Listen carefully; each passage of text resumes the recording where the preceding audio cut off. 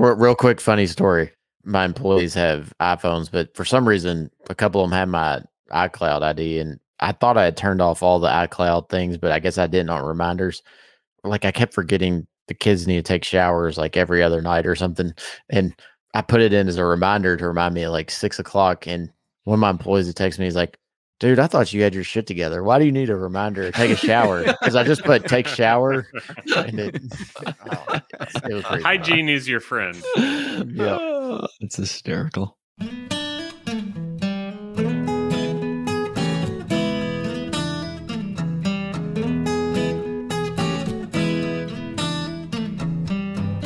This is Bourbon Pursuit, the official podcast of bourbon, bringing to you the best in news, reviews, and interviews with people making the bourbon whiskey industry happen. And I'm one of your hosts, Kenny Coleman. Well, it's here. It's the final Bourbon Community Roundtable of the year, number 75. And in this episode, we focus on one major topic and then end the show looking back at this year in bourbon. Last week, the team at Breaking Bourbon came out with an excellent article called Does Bourbon Have a Small Brand Problem? It was a fascinating one because it talked about many of the interesting things that we all see about craft brands. Are people only interested in heritage brands? Is there just a knowledge gap?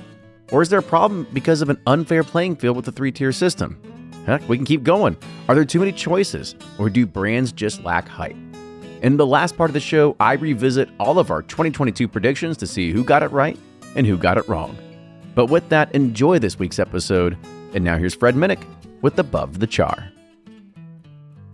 I'm Fred Minnick, and this is Above the Char. This week's idea doesn't come from any one particular person, but there's a sense of frustration out there that people are overwhelmed with all the bourbons on the shelf. Uh, they're tired of seeing uh, bourbons coming in at $200 to start off. Uh, they're tired of not being able to get what they want. And then they get, you know, to add to that frustration, they see me or someone like me on YouTube, you know, review a product that they know that they can't get. And whether I like it or don't like it, they feel frustrated because that whiskey's not hitting their lips. And so they ask simply ask the question, why am I still doing this? Why is it like this? Bourbon's not fun anymore. And and that's actually, you know, it's sad but true, but bourbon is losing a lot of that kind of joy for people. And so here's my advice if you find yourself in that position. First of all, I even though this would go against, you know, my own what I do, like I cover bourbon for a living. I try to educate people. I, I want you to watch uh, watch my videos and read my books and listen to my podcasts. But if you find yourself just aggravated with me or other reviewers, don't watch us. Don't uh, give yourself that opportunity to get get pissed off at the situation because bourbon is not about like it, it's not it's not meant to be something dangled over you saying like ooh you can get this. That's not what it's meant to be. You know find that you know group that you like to hang out with.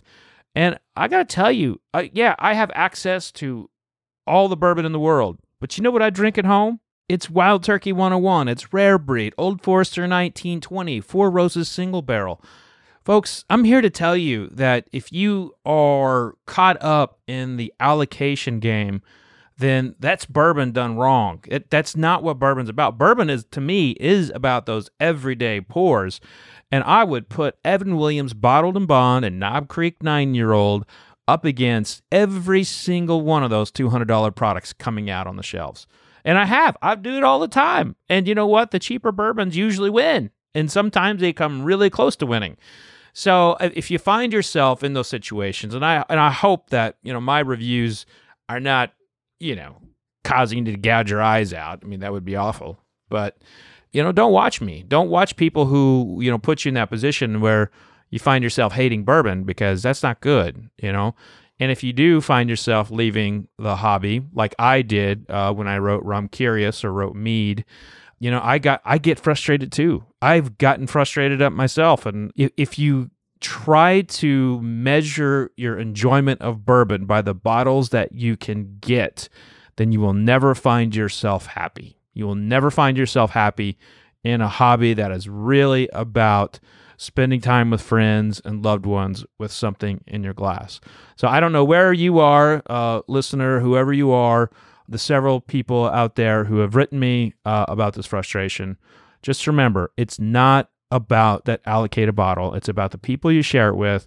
And uh, I hope one day, you know, you and I can uh, share a drink together as well. But that's going to do it for this week's Above the Char. Hey, if you have an idea, if you want your name read or not, hit me up on fredminnick.com. That's fredminnick.com. Click the contact button, and if I like the idea, I'll read it on the air. Till next week, cheers.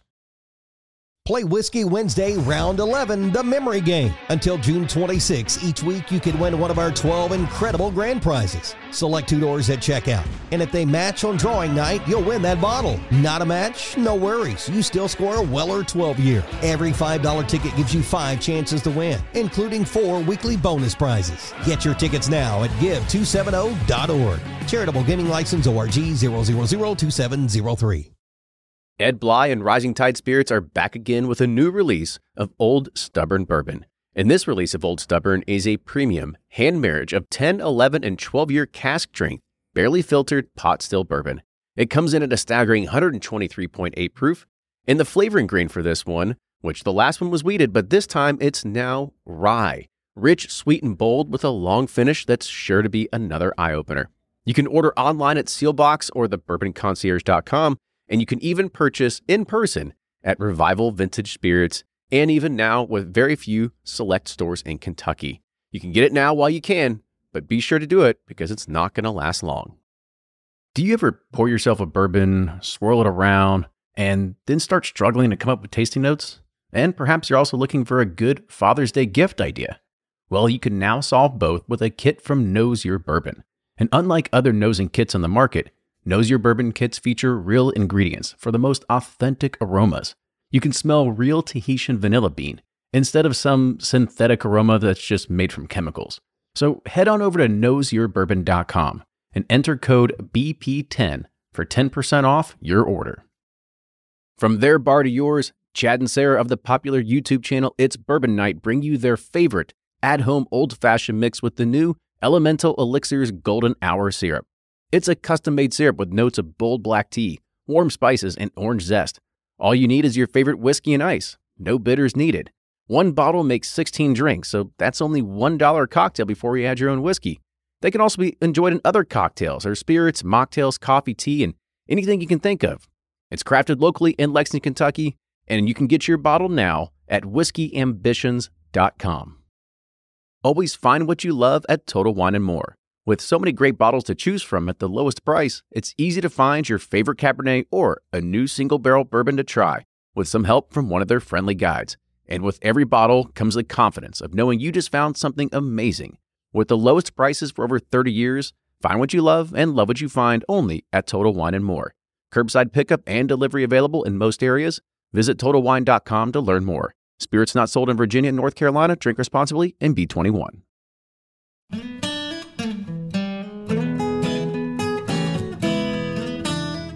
Welcome, everybody. We're back with the final Bourbon Community Roundtable of the year. And this is going to be a fun one because I really enjoyed there was an article that Eric from Breaking Bourbon came out with earlier this week that we're really going to dissect and dive into because I feel that it's just it's so opportune and it's the right time because it also might even fit in with some of the 2022 predictions that all of us had at the very beginning of the year. So I dug those up to try to Oh, figure gosh. out who did it right and maybe who got it wrong. So we'll we'll see what's happening there. But I'm uh, I'm excited to be able to have everybody on here tonight except one person who is breaking the streak. I believe we'll see if he pops his head in. But Blake is now he made it to 74, but 75 it, it was just too much. Mm, All those cable problems. and Microphone just it just was too much. He couldn't bear couldn't bear came the back burden of a proper USB cable and a microphone. too much. It really is. But let's go ahead and uh, let's get it kicked off. So you heard Ryan, but Fred's here tonight too. What's up, everybody? Got my, I got my. Thanks for the uh, delay. Ooh, do I have a delay? Uh, I'm trying to show my shirt off here. There we go. There you go. now keep your shirt on. they can see it through the radio right now. I'm wearing a fine custom fitted uh, sweater from Bourbon Pursuit, where you can. We have the finest fashion here at Bourbon Pursuit. And it's also available on our swag store, bourbonpursuit.com slash shop. Mhm. Go there. Nice, nice little plug. Way to go there. Appreciate it, Fred. But we'll also include everybody else around here. So Brian from Sipping Corn. Yeah, I had the delay too. Sorry, guys. Uh, trying to unmute. Uh, Brian was sipping corn, bourbon justice, all that jazz. Uh, sad, sad to not have Blake, but glad to be with you all for 75 and the holiday show. And I was telling Jordan before we were kicking off, he was posting all of his Duke pictures this past week. So not only is it the holidays, but it's the UK holidays. So Ooh, go cats. Ooh. the rivals going deep now. Go ahead, Jordan. Oh, all right. So this is Jordan uh, from BreakingBourbon.com, one of the three guys who runs the site. Happy to be here. Looking forward to diving into Eric's article, and this will be a really good year-end wrap-up. Let's do Oh, this. for sure, for sure. And this is again, thank you all for being here. Thanks everybody that's tuning in right now. If you have some questions that you want to put in the chat and have us go with it, make sure you put them there and we will do it as we continue on here. So let's go ahead and let's dive in with the first topic. And as I mentioned at the very beginning of the show, this was really sparked from a article that's most recent one on Breaking Bourbon. You could have got it if you're on their email list. Make sure you go and check it out. But the title of the article is Does Bourbon Have a Small Brand Problem? So, again, shout out to Eric for making this. I'm going to read just a little bit from here to set the stage for anybody that hasn't read to it, and then we'll start diving into the individual components. So, Eric said that at a recent get together, everyone at- was asked to bring a bottle of bourbon, and being a group of friends that drinks together on occasion, and it's all usually bourbon, Eh, pretty tough, comfortable bringing some of their better or more rare bottles along that no one would probably overindulge. And as the bottles started to fill a table, a curious situation started to unfold. One by one, each bottle was from a major distillery without a craft or small brand bottle in sight. Being someone that is exposed to a wide range of whiskeys, I brought something different off the beaten path that seemed to be deemed worthy of the group's attention. While I didn't go out of my way to sell the bottle I brought in any particular showmanship way, I left it to speak for itself. As the night unfolded and the bottle levels dropped, my bottle remained the least touched. This event made me wonder if bourbon has a small brand problem. In a setting of like minded whiskey drinkers where money wasn't involved, the least known bottle that group sat untouched and unloved. And he goes, even speaking with liquor store owners, they are saying that getting customers to try anything beyond the major distilleries is quickly becoming not worth the effort it takes. He says they even see it on Breaking Bourbon too. They do their best to cover a wide range of releases, everything from the latest major distillery to the maturing craft distilleries and to the local bourbon that can't be found outside of the particular state it's made in. But more often than not, it's not from a major distillery. People don't seem to care in large numbers. So there's a lot to unpack that we're going to start going into this. And it's true. We we also see it on the bourbon pursuit side. We kind of stopped doing a lot of stuff in the craft whiskey world a while ago in regards of having master distillers on the show or anything like that or talking about it only because it just didn't pull the numbers. It didn't seem like people cared about it. It's always the your Heaven Hills, your Four Roses, your Jim Beams, everything like that that people seem to start gravitating towards. So before we start diving into some of the individual topics, does anybody want to kind of give some initial thoughts to this? All right, I'll I'll dive in since it's our our, our article. So it was really interesting when Eric brought this concept to us, right? We've been talking about this consistently on Breaking Bourbon for years now, and, and Kenny just mentioned it. You know, we notice we we religiously track our site traffic, and we just noticed when it's not from a big brand, people just don't care. Yeah, it's really interesting when we interact with a lot of folks on social media or via emails that come in every day. A lot of people talk about the small brands that they love in their home state. And I think, you know, what it goes to show is the mass majority of folks, as we're talking, and Eric finally said, here's a straw that broke the camel's back. Exactly as Kenny set it up. I went to this party, brought a craft bottle, and we we thankfully do have access to a lot of craft bottles that you may not find in your home state, you may not find in your market. You could probably find it online if you want. A lot of them are sent to us for review as samples, and you probably wouldn't pull the trigger at the price to buy those. And that's okay. So we we try a lot of stuff. Some's not good, some's really interesting and unique as we really started dissecting, as Eric started coming up with this article, we really talked about the three of us. You know, why are people doing this? And he listed out like seven or eight main points in the article. And it's a great, great opinion piece. If you haven't read it yet, go to the site and check it out. Um, but it really got us thinking. You know, what, what, what is driving folks away from craft? And and those seven points or eight points that Eric laid out really were the catalyst of the conversation between us that started the article and more so as we started noticing all of the interactions afterwards on social media and the emails and the comments on the website from all walks of life. We had a few small craft distillers chime in, they agreed with it. A lot of people starting comparing it to the craft beer industry, but flipping that perspective on its head. Where with the craft beer world, when that came about, it's because large beer, those large conglomerates, they sucked. Everything that was out there was just the same, very homogenous. Just nobody really wanted to to do anything new. Craft came along, they revolutionized the beer world for the American consumer and the American palate. The opposite is taking place in the bourbon world. So the large established brands, yeah, there's some stuff that you might not like, but for the most part, they usually put out something decent and sometimes something really decent. So now what Craft's trying to do is what they're trying to put out is already starting at a point where it's hard to beat the the entrenched competition. And it's even harder for consumers to consistently give you money over and over and over again to try new things it's just one of those things and is you know we encourage our own readers and encourage all the listeners to bourbon pursuit um, to think about the same thing as you know why don't i try craft more? And really what's the issue here? And i think you know more craft distillers need to be tuning into this conversation to really think about what are we in this for? Are we in this just to make a buck we're in this to change consumers' minds and really what are people needing to see. It's a rough industry to be in, right? And I'm sure Kenny and Ryan can talk about that. There's a long lead time to starting up and being really entrenched with a lot of good product in the pipeline. When you start off, sometimes, especially if you're distilling and not sourcing, it's really hard to get your product to a level that consumers are used to, thanks to really cheap, decent bourbon from Heaven Hill, Buffalo Trace. So I'm going to turn it over to the rest of the folks um, and, and, let them give their opinions. I love to hear it as I loved reading all the opinions on the article. Um, but it's just a really, it's one of those conundrums. Like, how does craft slowly, you know, build that confidence and that consumer trust so that they can move from craft to maybe a bigger brand, or maybe not even move from craft, but just move to this is a brand I'm seeking out. And that's such a rarity nowadays in, in the um, bourbon world. You know, we were a whiskey advocate. I think we we wrote about this. I want to say eight years ago when I was there, and there were roundtables about this at like industry conferences and stuff. And this is this has been a this has been a pretty prominent issue for for a decade. And these these small distillers have kind of accepted they've kind of accepted it like you like Benny's is just like they can't take another pitch, right? About about a new craft brand. And when um, what what I have noticed now, and you all may get this too, Jordan, is that when I do recommend a craft product, I mean, I will have people just be like, "I've, you know, you, got this wrong." Like I, I recommend Spirits of French Lick a lot. Like I like that brand a lot.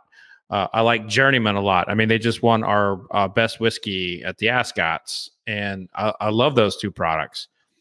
And there'll be people who get the bottle, and then they're like, "I hate this because it has this note. I don't like that." And it's a matter of like people don't want to explore outside of their comfort zone. And I really don't think a lot of people read tasting notes. I really don't. I think I think they just see something won an award or got recommended by someone. They don't actually read or watch what someone wrote or said. And I think that's part of the problem. And it's it's a it's a matter of like the consumer base is is has been geared toward a particular flavor wheelhouse and all the marketing is coming from Jim Beam, Heaven Hill, Sazerac, Four Roses, Wild Turkey, and uh, these smaller guys they just can't they can't market and it's a shame that blake's not here because he's re- he's really you know in my opinion probably the biggest advocate of the last decade for these smaller brands. I mean seelbach's was created to give those people a voice and access to our audiences and i think he's done a better job than anybody of telling the uh, the craft stilling story so this is this is something that these brands have been dealing with. They know if if they've been in this game for uh, a little bit of time, they know how to roll with the punches. And the the key here is the slow allowance of shipping. When these distillers are able to build their own audiences and reach their own consumers, there's not a small brand problem. You know, they they have a they have access to people who want their product but uh, in, in, terms of the eyes of the general consumer, and it's it's about education. It's about exploring your palate. And if you taste the same damn thing every day, or in the same kind of wheelhouse, you'll never grow as a uh, as a taster. Yeah.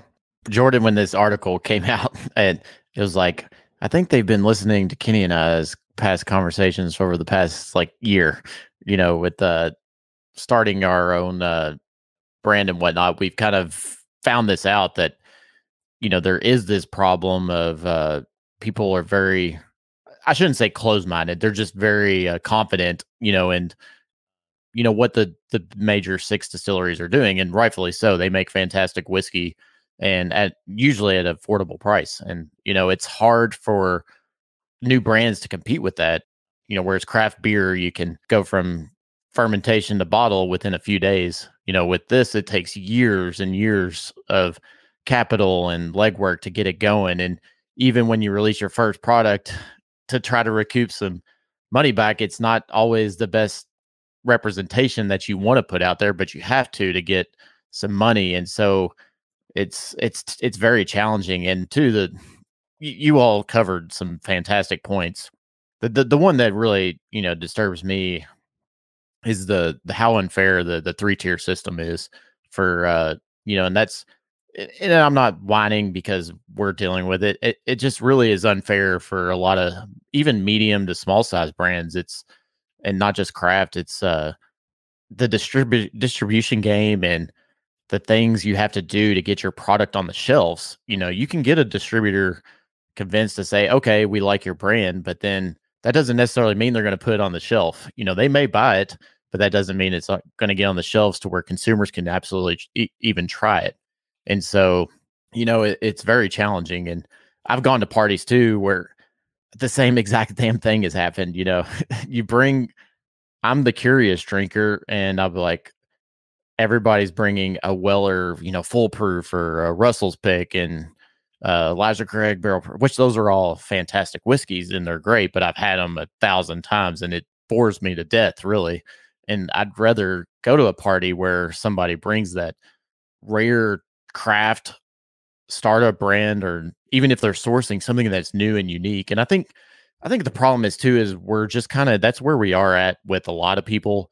A lot of consumers are new in this space. And I was I was thinking about this. I was the same way, you know, probably 6 7 years ago. Kenny I know was he's like Kentucky or die. You know, George T. Stagg or I'm like, know, don't even talk to me. Don't even talk to me. And I, I think we just have so many new people in the space that they're still like they're still in that excitement mode of where they're like still excited about hunting and finding the the rare unicorns of the major distilleries and and I, I do think there'll be probably a shift because hell I started a own brand because I got tired of chasing you know camping and chasing and finding the whiskey that I liked and that's why Kenny and I started a brand but I think that's just where we're at and where consumer there's so many new consumers that we're still kind of waiting for them to get fatigued by you know the the camping the excitement the letting down of not being able to acquire these uh, legacy distillery you know rare releases and i do think there'll be a shift and there i think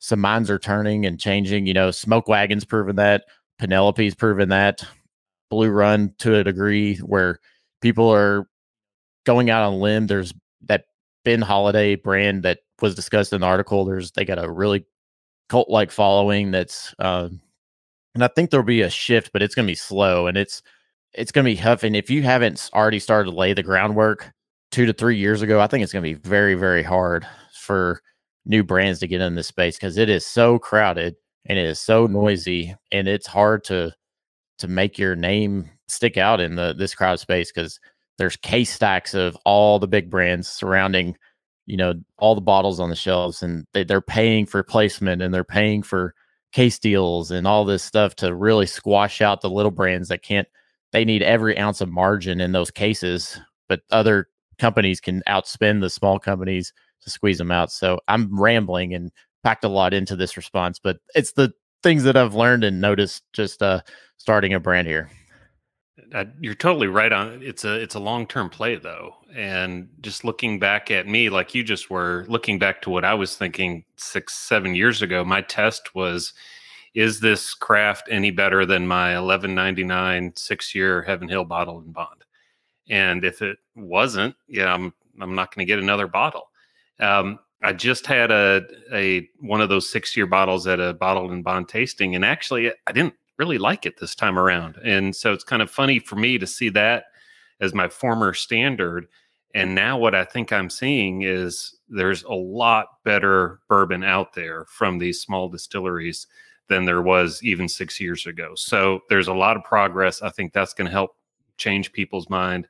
People on the comments are all talking about Alan Bishop, and and you guys mentioned Spirits of French Lick. You know that's helping turning the tide. Um, there's just so much better whiskey coming out of these small distilleries now than there used to be. But it's a long term play.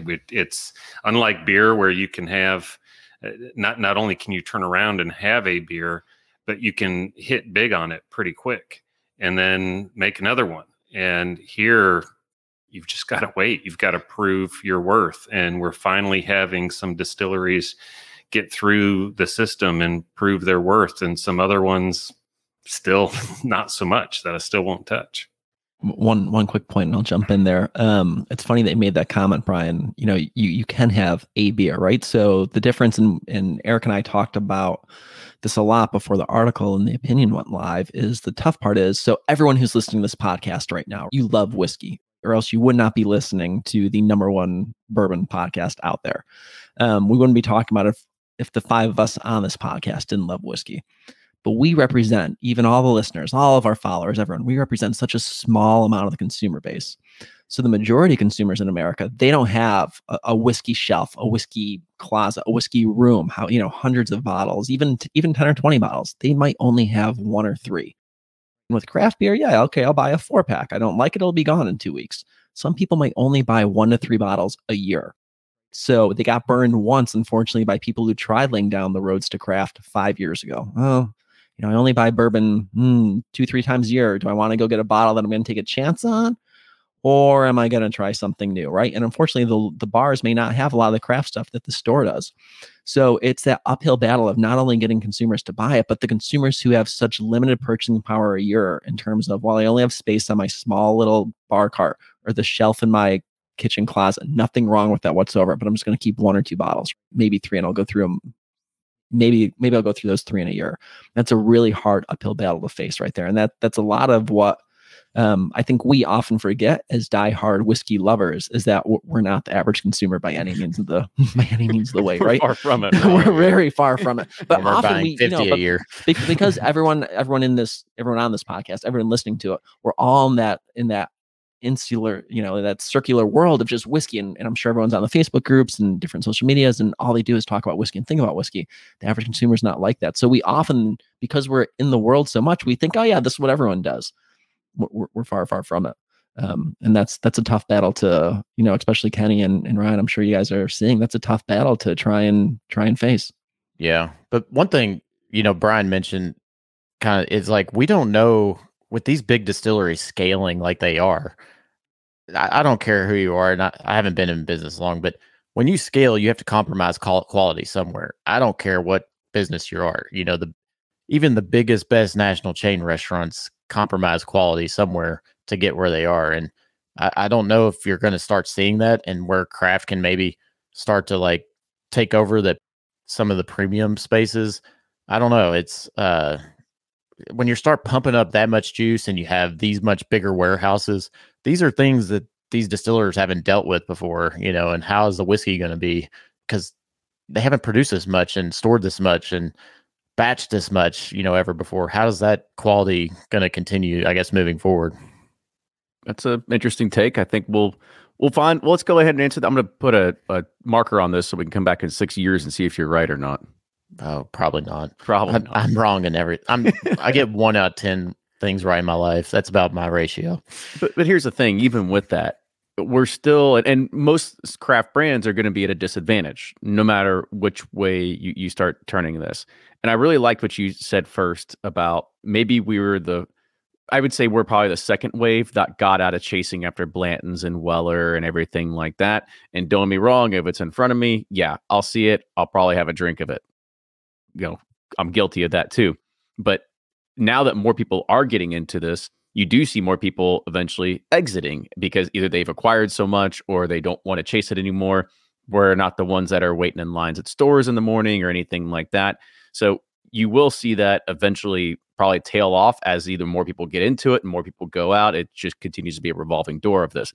To to go on some of those other points that were made inside the article, you know, there was another recent uh, I think it was a thing. I, I know I was on it. I think Nick was on it too about the American Craft Spirits Association when they came yeah. out with all their latest numbers.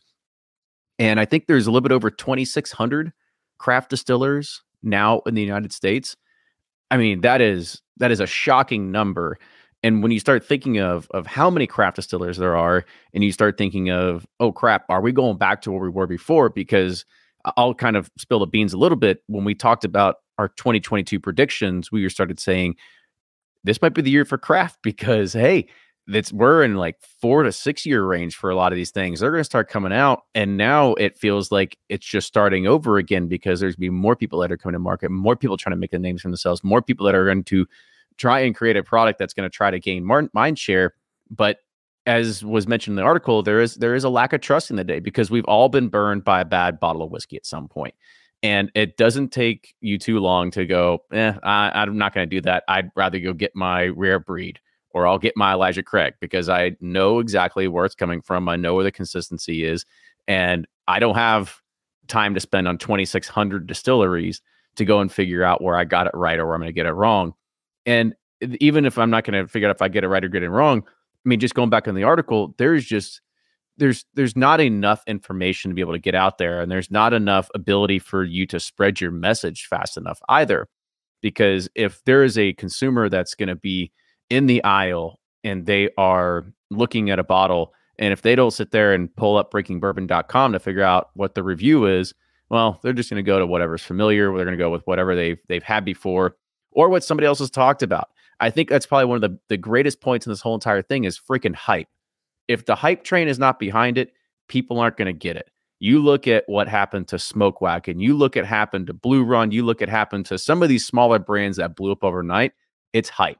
It's not because it's the greatest whiskey in the world. They have good whiskey, but it's hype. And you, and you gotta be Fred's number two. Exactly. if you're on if you're on Fred's top 100 list, but if you're not, because number one's unta- untainable, but number two you can usually get, so you got to go and find that one. Uh, but I mean, that's what you look at and you think, I mean, that's that's all a word of mouth marketing right there. Because eh, eh, as much as you want to look at people going around and chasing after Weller and just trying to find it, put on the shelves, and they got six things a green label, well, they're going to go out and get a bottle of Smoke Wagon, not because they know about it. It's because they saw somebody else talking about it or they saw somebody else picking it up and talking about it. And it is just this it is this this huge thing of like you just got to get hooked into whatever that that magic dust is that just gets you in the the the circles to be talking about because it's really hard to just do it on your own as I think what Fred had mentioned very uh, early on is that it's budget, it's marketing dollars, and it's spend. And there is absolutely no way that any small brand can come and compete with a Diageo or a Constellation or a Beam Suntory.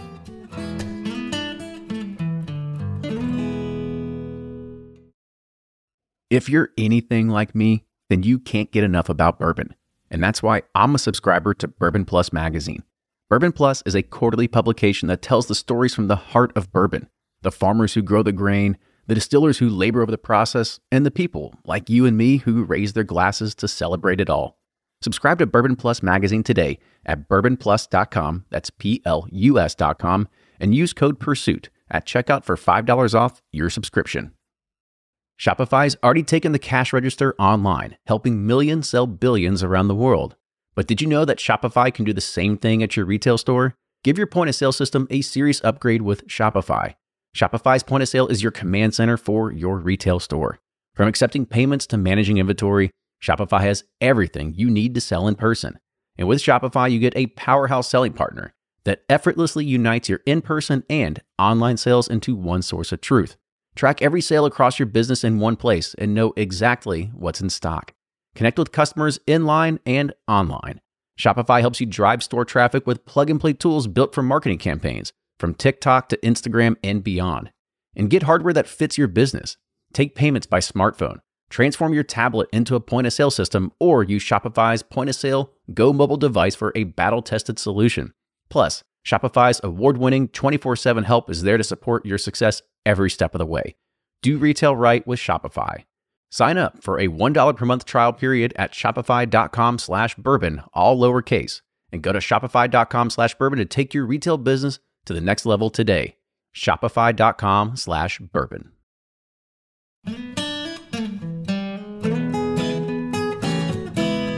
I think what Fred had mentioned very uh, early on is that it's budget, it's marketing dollars, and it's spend. And there is absolutely no way that any small brand can come and compete with a Diageo or a Constellation or a Beam Suntory. There's no freaking way that you can do a national campaign like that. And it's it's just one of those things that you know you have to just maybe sit there and work on your own backyard and then build out from there. I think that's maybe the only way of survival at the end of the day is because you've got to bank on the people that are there that are in your community or that just happen to walk up on your doorstep or you know thank heavens that somebody else talked about it and told somebody else and they came and showed up too. And you've got to make a customer one at a time instead of one to many. Can you have a community whiskey? I mean that's that sounds like beer you know community whiskey is tough you know to Yeah. keep to, to to only serve your community or your state or Well, something like that Well, here's a, and I'm gonna. So Kenny Well, mentioned, Texas does it pretty well. yeah, and Kenny mentioned that. So I was on that call with you too, Kenny. That the economics for the craft, right? And we have the PowerPoint you can download on our website. But here's the main stat that I think blew me away the most, Brian, and, and talking about community. So 92 percent of the business of small craft producers takes place in their home state. So, and I, you know, when I read, when I heard that, I was like, wow, okay, so that's that's an uphill battle. So in that case, if you know you're small enough and you don't have a shot at national, you better really build out your community really hard. Because then, if your community doesn't like you, you are going nowhere. You are dead in the water. And that was a that was a super fascinating stat. They talked about medium. You know, medium fifty nine point one percent of their business is still in their home state, and large finally eclipses that. So the majority of the business is outside their home state. So a lot of craft distillers though are trying to play for that community aspect, or else if they're not, boy, they're they're not going to make it long. That's for sure. I think the best example of like going after that community aspect is uh, Cedar Ridge. Cedar Ridge is the number one selling bourbon in Iowa, and they really fought for that. And man, I uh, the craft brands that are trying to get in the the back bar in New York uh, and in Las Vegas, you know, they learn real quickly that that ain't going to play. You know, you've just you cannot compete with those folks. So you have to build your base, and there's a lot of tools out there now for people to do it. Uh, you know, when we talk about Smoke Wagon and you talk about Blue Run, what are they? What is their whiskey? I mean, their whiskey is coming from great distilleries. You know, it's not like it's not like a craft brand. I think I think NDPs have a better building a brand through the NDP model can fare a lot more lot lot more successfully than trying to build a distillery and create like a new flavor profile. And these small brands that are NDPs, uh, I think that they they have a better ability to capture those people who are just drinking Elijah Craig because their flavor profiles are not that different. However, or they're when- exactly the same as everybody exactly else. the exact- yeah. that another one while you're mentioned there is Old Carter is another great one. They can put out Mhm. stuff with double digit numbers on it, and it it gets a huge following. Yeah, and, and that's just it. Is is like it comes down to, and someone put it in the chat, and I'm glad they did.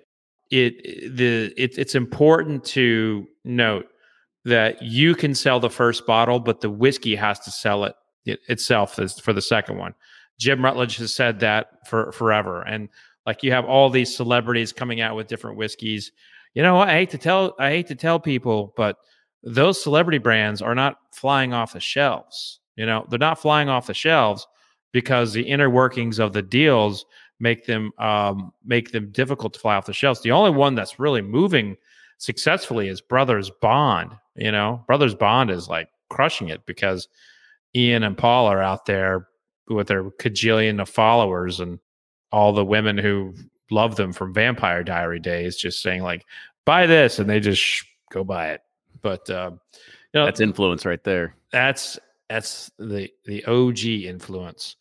But I think this um this conversation, you know, I think the next phase of it is like who's is this going to lead to people going out of business? And the answer is yes, because there's just so many brands. Uh, Ryan mentioned this. It, it's so dadgum crowded. It's so crowded, and it's just not. It's just so hard. And like, I mean, right now, you know, I'm, I'm trying to compile my top 100, and I'm like, I've tasted this year. I have tasted 748 uh, different expressions of American whiskey. And I'm looking through the list. I'm like, I haven't tasted this, this, this, and this. I mean, I've, I feel like I've got another hundred before I can even like fully put out that list. And there's just so much, so many blends, so many finishes. So there's so much stuff going on.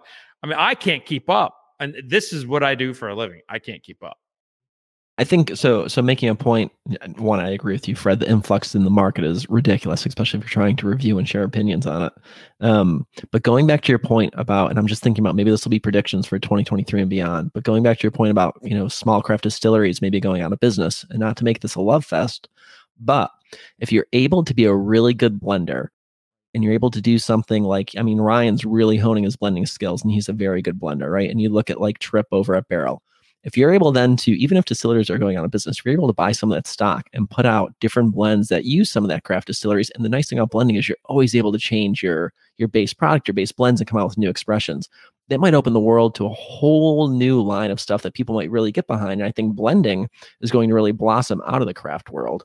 Um, and if you're able to do it right then you know, we as a consumer might get something really good out of this. We might be able to find the craft that we love and still support and that stays in business. And the ones that don't may end up contributing their their well, quote unquote craft, right? Their whiskey that they made to future blends that might actually go someplace and do very well. So it's a wild world for for whiskey right now, and, and craft is definitely playing a part in it, whether they like the part they're playing or whether they don't like the part they'll end up playing. But it's gonna it's gonna do something, that's for sure.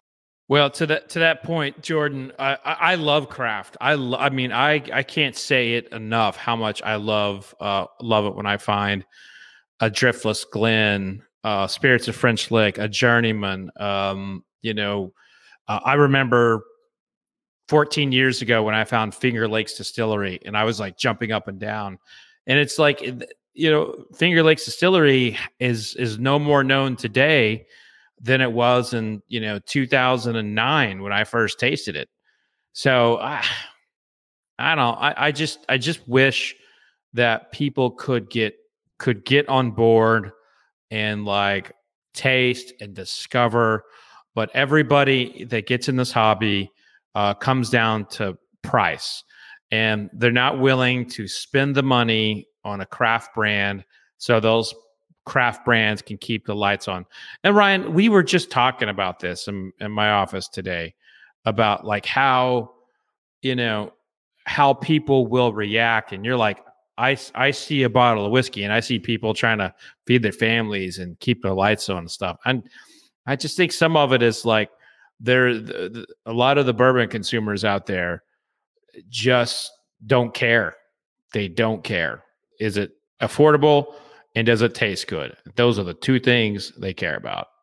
Yeah, I, that's a really good point. It's funny you say that because Ryan and I, we've done some in-store tastings and stuff like that, and we've given our spiel and trying to be like, hey, you know, when you're doing this, you're really helping support two guys that are trying to go on a mission and a dream, trying to make this brand a reality, and we appreciate everything. And it's just not going in the hands of some major conglomerate. But to the most to the end of the day is what goes even back to Eric and Jordan's article here is that five or ten dollars can make the biggest difference in all the world and they don't care. They don't care if they're going to do that and the hard part is that even as craft or ndp we've said before you just don't have the economies to scale. There's no way that you can compete. I you you cannot tell me there is one craft distiller out there that can compete with your with brian his with brian's heaven hill bottled and bond six year at $12 most that doesn't even cover the cost of goods for most people Hell, sometimes the glass alone is $3. So at what point do you start making money on this damn thing? So there's no way that any kind of craft brand or anybody can compete at that sort of scale because they've got time and money and resources all at their disposal that that ends up just kind of squashing the little guy at the end of the day. And I know Ryan kind of hit that hard at home is at the distribution level. That's where it gets really thick and scary because yes, they have margin points they can give up into the year. They have salespeople. They don't care. They just need to make their number. It's not that they, they can literally give away cases as long as they have cases sold or cases checkboxed at the end of the day. And so it doesn't really matter. Like they can literally give stuff away to the bars, to distributors, to whomever, just so they can carry their stuff and you don't see anybody else's products on the shelf. I got two points. First point is it's funny, you know, there's we say they're all buying from the big six, and they are, but they're leaving a ton of great whiskey that the big six makes on the shelf that you know that is available and ready to buy all the time and they don't you know consumers just leave them you know rare you know rare breed you brought that up you know just like regular standard odor Elijah Craig it's all it's there all the time uh, but they got to have Henry McKenna you know Fred you know but Thank you, Fred. yeah but there's there's so much great whiskey that people have these blinders on of like and, and I fall trap to this too. Hell, I thought pickleball was the dumbest shit ever, and then I play it, and I, you know, because everybody's doing it, and I'm like, well, I I guess I gotta jump on the hype. You know, it's that's just a human thing, I guess. But uh, anyways, it's it's just a fascinating how consumers' behaviors and it's like you got to follow the crowd and the herd, and uh, we think we're in control of our brains and thoughts, but we're not. We're really, you know, influenced by so much outside of our control. It's fascinating you know, to watch people. That's what I love about these in-store tastings at like Total Wine and you know, just seeing consumers' habits and asking them questions of like why why do you buy this or why do you think that's it, it, it's it's interesting. But uh gosh, I had another point and I rambled on too much and I Well, you want to tell some of your, damn- your funny stories from doing your in-store tastings? Ah, there's too many. I had one person come up and you know, I had my shelf talker. It said like the tasting notes of it said like chocolate orange, uh, you know, with burnt burnt orange peel, and he's like, "Oh man, I've been waiting for a chocolate orange flavored whiskey for a long time," and I was like. This is not flavored whiskey. It's the tasting notes. But he's like, "Oh, never mind then." he just he just walks away. But uh, yeah, it's uh, it, it's a funny world out there. But gosh, I had something really good to say, and obviously it was so great I forgot it. Well, I, I want to just take a minute there just to pause because there's a. I know we've talked about it a few times here, and, and Brian Aiken brings it up too. He goes, "It's not just craft. It says right right now there's just too many brands. When you go on the shelf, you look at it. Is there an influx? Is there an overload of brands on the market?" And we talked about this, and I don't feel that we're going to see the end of it. In fact, it's going to keep going because whether it's a brand or whether it's LTOs, limited time offerings, or one time releases, whatever it is, it's going to keep going. It's all the finishes. Everybody's just got to keep coming out with something new and new and new to keep people buying more stuff. And here's the thing is that you can go to most liquor stores and you go and you walk down the bourbon aisle and you're like, oh God, there's there's so much here. And then you go look at the wine aisle and you're like, well, never mind. It's really there's, there's, there's a lot more wine than there is whiskey out there. Yeah, I, and the model of like having multiple SKUs, that business model uh, has been uh, proven to work quite well. And when you when you do it effectively, Barrell is not a big company. You know, I mean that's a hundred thousand case company, which you know it's nice. It's very nice, but you know, in comparison to like Willet or Four Roses, I mean that's like a drop in the bucket for some of those companies. And um, they command a quarter of a shelf when you walk into a liquor store. They'll have all the various batches on there. They'll have the seagrass, they'll have the dovetail. And you know, that when when you do it right, it engages the consumers and it also gives you more real estate in a in a liquor store. But when you do it wrong, when you do it wrong, and I'm thinking of one that I just uh I just tasted uh, the the RD one, the RD one 98 proof and uh, the 101 proof. You know, then it's like uh, you know the liquor store makes a decision of like, well, which one do we carry? You know, they, they maybe they carry both, maybe they don't. But like you, then you just get like a single slot. So when you have those multiple expressions, I mean, that is your reputation. That's that's um, if you if you have a couple hitters in there, you're going to get more real estate on the shelf and you're going to bump somebody. So it's an effective, it's effective. And the limited edition, you know, kind of grouping was created by Buffalo Trace with their antique collection. And, um, you know, as far as nobody does it better than than Sazerac. You know, what was the year that there was uh, like 15 different versions of Weller? Yeah, they just announced it one after another. And it's single barrel, and it's 107 proof, and it's full proof, and it's this proof. And it's like, for God's sake, you know, just pick one. You know, People eat it up though. They need those colors. they do, they do. But It's like it's like collecting baseball cards. What it comes down to. So I don't I don't think that's going to go away anytime soon. But I think there is. Uh, if I'm running a business, I wouldn't want to have all those SKUs. It just it looks like more of a headache to me to manage. Yeah, we've been talking about this for a long time, and this may be another topic. Is like, is the, you know, the everyday brand dead? You know, for whiskey geek or whiskey consumer, because like, to me, I, I think it. I love finding something I know that's consistently going to be good, and I when I purchase it, it's going to have similar flavors from the previous time. But just seems like the consumer is constantly chasing the new shiny thing, and and so it's like is that sustainable you know and is that going to continue as a trend for whiskey consumers moving forward it's going to be fascinating to see Yeah, I think we'll save that for another roundtable. I think we can dive in more on that and dive into labels and and sort of what's the the thought process of the the modern day whiskey consumer too. But let's go ahead and we'll kind of move on to a recap of our 2022 predictions. So we'll start off with the guy who isn't here, and let's start with Blake, and we'll kind of just talk about his real quick. Blake was almost like a catch-all, and and it wasn't. It it, it was very. I probably should have interrupted him when he was doing this. I said, "You need to be more specific about what you mean," because Blake, he had his his idea was that there's gonna be a big acquisition. That's what he left it at.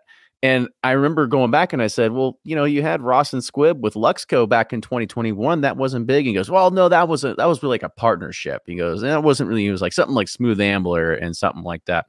But in 2021, or sorry, in 2022, whatever year we're in right now, uh, you know, we saw Bar Bardstown Bourbon Company, Green River, and of course, Wilderness Trail was probably the big ticket item that we we did see in regards of the the acquisition target. So I think that if you were to say every year that there's going to be a big acquisition, I'm sure that, checkbox is going to get every single time. So uh, if 2023 predictions come around when we get back together here next month, I'm going to make sure nobody says that. And if you do, you've got to be able to pull it off. And my God, as soon as we start talking about it, look who pops in. I heard that somebody was asking He made for it. Disney, Disney advice on the podcast, so I said, "Guys, I'll go live." i knew I'll it was be, from a concession stand I'll be on You called it. location uh, Cecil called it. outside the Dumbo ride, and now we're the I had to give it dumbos. I had to give it time. Like I had to give Kenny enough time to drink a little bourbon to not be completely angry with me when I come on with AirPods. So that's all. it- That's all it was. You know what's crazy is this is probably your best internet you've ever had. it's not wrong. Uh, you know, Disney has a little better budget for Wi-Fi apparently than Seelbach's. So, yeah, yeah. But they are really good topics. I was like, you know, I, I hate to miss these good topics, and uh, had to keep the streak alive. So, hey, glad to be here. Blake Well, from what- uh, Seelbach's and BourbonR. Thanks for having me. And he's out. sign in, sign out. and kenny's going to mute you from here on out yeah, and I'm done. And now No, I, got, actually, I got like we- seven minutes until the uh, fast pass of uh, Space Mountain, so we're set. Oh, good. Well, we we were just talking about our 2022 predictions, and yours was that there was going to be quote a big acquisition this year, which Oh, which I said, you know, I'm not going to let you get off that easy next year because I think it'll happen every year. So next year we got to be a little more specific. But yes, we did see I some big think there's acquisitions. gonna be a big release. Man, he's gone. That's it. The mouse found out out. he was recording and cut him off. All right, Mouse I'm gonna- wanted a piece of it. I'm gonna go. Ahead. Oh wait, he's back now. Hold on. I, I said I think there's gonna be a big release out of a major distillery. Is uh my, my next prediction? You know, it's like a it's like a horoscope. You, Can't be wrong. Can't be wrong. All right, let me go ahead and mute him now. But so that was that was Blake's. So let's go ahead and Brian. So here was Brian's prediction, but he doesn't remember here, is that he thinks that more experiments will become the premiumization. Not the standard mash bill, but you did note of things like Heaven Hill and Bourbon Bar that had some amazing releases at one point. And And so I don't think we we really saw this come uh, this year about having some of those because it's mostly these these back end things that they had done as experiments five, six, seven, eight years ago, and they were going to come out and say, "Here you go. Here's another two hundred fifty dollar premium or limited edition offering." Uh, yeah, I'll I'll agree with you. It's it was a dud for a prediction. I might roll it over to 2023 though, because they, I mean, Double down. they've got to have this stuff, right? I mean, it's it's there. Hold on, I, I want to come understand. I want to understand the prediction a little bit better. Are- Are you saying like the the experimental stuff was going to be the limited edition products? Is that what you were saying? Yes, and that kind of came true only for Heaven Hill because they're saying now they've got their experimental one versus the the Parker's Heritage. So maybe there's one s- s- uh, just glimmer of hope for me there. But you know, all these places have stuff stocked away that they don't know what in the hell to do with. I think that's coming out. Yeah, I think that's where Little Book comes in for a lot of the stuff from the Jim Beam portfolio. He he takes the brown rice and takes all the stuff and blends it together, kind of mm-hmm. creates something different. Woodford has their masters collection. There's Yeah. there's Yeah. each one usually has something. Fred said Four Roses is going to get bought for 10 years, so you can keep. he's he's still gonna hang on. Sooner or later, that's going to come true. I mean, uh, yeah. so I, I I I think that might have been my prediction. I will ca- carry it over to next year as well. All right. So, Fred, since you were speaking here, you had two of them. One, you said that barrel picks were going to be saved by regulations. Yes, of course, all that happened because that was we all we all kind of saw that happening. Nobody, the death of barrel picks was not going to happen in 2022. So we, I we don't felt- know. Felt good about that one. I don't know. They, you know, leave it up to the lawyers and uh, and legislative uh, efforts. You know, you still got to fight. Well, and here was your your other one that you know now when you think about it, it, it was probably a, a long shot to make it happen just because of how fast the government works. But you said that the federal government will take barrel finishes are going to be out of the whiskey special category and they're going to make themselves something completely different. Yeah, they're still in the works on that one. But hey, I I know it's it's in the works, so that's uh that's exciting. Is that really a prediction then? If you just know it's in the works, Uh, well, I mean, it's an educate, it's an educated, it's an educated uh, uh, guess. I predict that Inside Fred's going to eat lunch tomorrow. I don't know what it is. I'm a, I'm predict he's going to eat lunch. Well, I mean, if you want me to start just throwing uh, throwing uh, hay balls, I'll just go. I'll go again with uh, Four Roses will be bought eventually by somebody. well, well, we'll figure out 2023 when we get back in January here. sure. Yep. Uh, Nick wasn't on this tonight, but here was maybe we'll just we'll just lump it under breaking bourbons If, here. if it's a good prediction, it's we'll take credit here. I'll take credit. If it's bad, then yeah, totally blame Nick. Well, it, it kind of goes back to your article. So Nick All said right. that small craft players will try to capture mind share by coming online and doing more storytelling because most big players are the ones doing it. And he also said that he will think that more regulation will start increasing because bourbon hunting has gone too crazy and that there's just got to be more rules put in place because people are fighting in line and peeing in line, all that sort of stuff too. That happened. I mean, there's somebody yeah. in there's somebody in jail right now in Virginia. Somebody got it right. So- oh, oh, yeah, they yeah, I forgot about that. Yeah, so And, there's uh, been there's been some crackdowns on that. well, stuff. and PA just cracked down, and there they didn't really slap hands, but you know, no state employee can buy any of the limited edition bourbons anymore in the state, so they kind of Oh, wow. took away that back end. So yeah, states are cracking down a little bit. Yeah, it's a it's a so-so prediction. Sorry. All right. So here's Ryan's. Ryan's was that he thinks that big distilleries will start creating $300 bottles. Well, I don't know if we saw too much of that, but I think that could probably easily carry over. And that toasting and wood finishing is going to flourish because you can make a distillate more approachable at a younger age. I definitely think I'm on that, on the wood finishing. Hell, we just came out. I was with about to say you're guilty of it. but I mean, there's a ton of them coming out. It's Wait, I he made it happen. Exactly. Yeah, exactly. You It was for this exact episode. I was like, I got to make this come true. You know. Cut it out about a, two weeks ahead of time. Way to go. But I mean, hell, you did see, you know, Willet with the two hundred fifty dollar eight year small batch. You saw, you know, Heaven Hills, you know, the William Heaven Hill line and Heaven Hill experiment, you know, at those higher price tags. So I got a little bit right. It's Russell's came out with one for what? Yeah, that's right, I yeah. the- you For know, single barrel warehouse. barrel with their gold line at 500. I mean, the the premium line is getting pushed higher and higher every year. That's for yeah, sure. Yeah, I know. It's still I see that it's every time I go to a liquor store, I look at that ga- glass case and I'm like, are these bottles going here to die or are they going to sell? You know, that's what I wonder. Well, I mean, I'm True. sure it's true for everyone though, and I'm sure that was part of your prediction, right? I'm sure we all have people reach out. I need to spend this much on a bottle, Yeah, right? It's those- need. those- Right. A- Yeah, those sell Christmas, Father's Day, and Derby. Yep. That's exactly right. You go out with a certain dollar amount. It used to be a hundred dollars. Now it's two hundred, and you know that decanter will check that box. Yep. Yep. And if it's priced less, they don't want it. They need to Right. spend that much or They more. need it. Yep. So I think Ryan was was two for two here. There was a third one that Ryan had, and that's that Canadian whiskey will be accepted as premium. Oh, it's a little early, but maybe next year. Maybe next year. I don't know. I'm gonna say uh, yes. Oh yeah, Fred. We uh, tr- yeah. Yeah. I, I think that, that the answer for that is yes. And Whistle Pig is the great case study there. Uh, it is just not uh, Canadian whiskey being bottled by Canadians. It's being on the on the brokerage Americans market. who can market better. Eh, you know, it, it is actually it's it's not that. It's just that they drink all the good stuff there. They just don't send it down here. You know, and I I saw I saw Don, Dr. Don in the in the chat too uh, earlier. But uh, you know, Canadian whiskey I think is so good. It, it's so good, but they Yeah. You know they screw it up with Crown royals like screws it up. I I mean, if you all could taste the original stocks that go into those blends, you would be so pissed. You know, I mean, it's so good by itself, but they have to blend it and screw it up.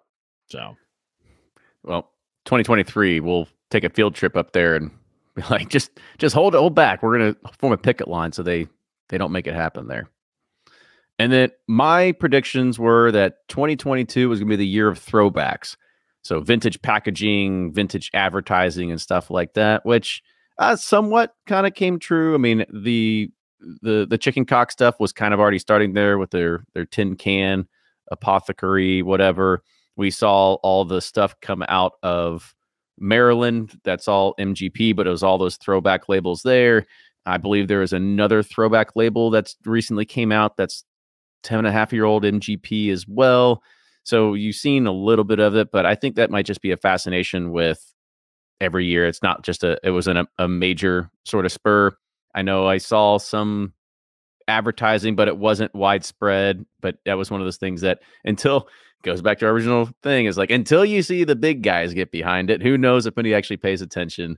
Uh, Well, if not, I mean, Hardin's Creek, right? That's a throwback. That that bottle design, that label, that's very much a harking back to old times.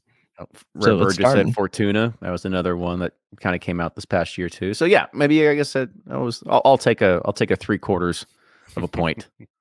we'll do that. All right, fellas. Well, that is going to close it out for this 75th community bourbon community roundtable, and it's going to close out our last community roundtable of the year. But fellas, it was a pleasure once again to hang out with you for another 12 months of, of doing these and being able to get together every once in a while, making them happen too. So looking forward to another year in 2023. But I'll go ahead and let you all sign off. We'll start going in reverse order. So Jordan, you go first. Yeah, this is Jordan, one of the three guys from breakingbourbon.com. I just wanted to wish everyone a happy holidays and more so, you know, it's a real privilege for all of us to take time once a month and do these community roundtables and really for you all take the time to listen to us. So happy holidays, happy New Year's, crack a good bottle of bourbon. We'll see you all in 2023. Or don't crack it, hoard it, you know, save it forever. No, I'm just kidding. Definitely, definitely open it up. There's always be more bourbon. That's what we try to keep telling people. Don't don't worry about it. You just keep opening it because they make more and more every single day. Brian, go ahead. Yeah, thanks guys for a great year. Looking forward to 2023 as well and our predictions next time. Uh, Brian with Sipp'n Corn, Bourbon Justice, all that, and uh, and I agree with Jordan's sentiment. Enjoy some good bourbon over the holidays with friends and family. It's it's meant to to be drank, and they're as Kenny says they're making more. Um, but enjoy it with friends. It's best that way. Cheers, everyone. And maybe try some craft whiskey. Try, yeah, Oh. try some Pursuit United. Oh, there you go. New Year's resolution. Go shop on Seelbach's and get some Pursuit United. Uh, yeah, Blake's steal not here, everything. so you know You're right. Up to him. Yeah, you, you can go get it at your local store then too. You don't need to go to Seal. I'm just kidding, but uh, definitely appreciate the shout out Yeah. there. Uh, but again, I want to say thank you all for tuning in tonight. We had a little bit over like 112 at one point concurrent. So always good to have people on here. Thank you everybody that was active in the chat and putting some good comments out there. I know I started a few of them and didn't get to them, but we had pretty much gotten to them at some point talking about a lot of the problems we did see in craft whiskey, whether it's the marketing, whether it's niche players, whether it's just lack of hype and everything like that. So, uh, again, shout out to Jordan and Eric, and maybe Nick had a little bit of hand in that article. It was a great piece to make sure that we start thinking a little bit more outside of the big six, even though they make great whiskey. But there's a lot of great whiskey out there with 2,600 plus distilleries. You can go ahead and get your fill of stuff. And I guess is what we've learned is always take advantage of those samples that are in the aisle. That's the best way you can do it. Is just make sure you try it first. when you see two dumbasses and they're handing out product. No, but seriously, how's a year past? I mean, time is flying by. I feel like we just. I remember making those predictions, and I didn't until now. But uh, it's uh, it's amazing how time's flying by, and so it's like during the holidays, yeah, just everyone just sit, relax, spend some time with the closest people you're with, be present Yeah. you know, really enjoy the moment with a good bottle of bourbon or rye whiskey, you know, from Baltimore or something around those areas. I'm kidding, but uh, it's just whiskey's one of those great things, and this community is so great that it, it, let's just really try to be present this holiday season. Time is flying by, and I just can't believe we'll be here next year. You know, talk about how stupid we were in January of 23 and how how how way off we were. So let's uh Mm. let's enjoy these holidays and cheers everyone. So, cheers, man. And, and, and on that note, you know, I'm in the middle of you know the my third disaster related bourbon auction is about to end, and the amount of uh, love in the bourbon community, you know, stepping up and trying to help people is is amazing. And you know, we we always talk about how you know share a bourbon with someone you care about and you- you enjoy being around. But the fact is, there's a lot of total strangers out there, you know, raising money for people. And by years in, through the various uh, you know charities uh, that we've all been a part of, Bourbon will have raised around seven million dollars for various charities and disaster relief. So, I mean, that's something you know we should all be very proud of. And uh, if you are watching live or listening live, it's probably too late if you hear this on the recording. But uh, the Florida auction is uh, going to be closing on December 15th. So go to unicornauctions.com to uh, check that out. A couple nine year Willetts just dropped. Hey, good deal. Well, again, thank you all. Cheers, and we'll see you next time. Toodles. Cheers. Sucks. Cheers.